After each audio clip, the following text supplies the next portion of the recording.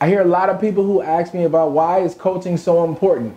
Now, I can't tell you why it should be important for you, but for me, I needed someone who could take me to the next level. I needed someone who had been where I'm trying to get to, who is going where I'm trying to get to, and also somebody I could relate to and who was gonna tell me something that I needed to hear, not what I wanted to hear. I'm gonna say that again. You need somebody who's gonna tell you what you need to hear, not what you wanna hear. So many times we can get caught up and we wanna we want somebody to pat us on our back and tell us that we're doing it right, but we forget that a coach is supposed to push you forward and show you the way.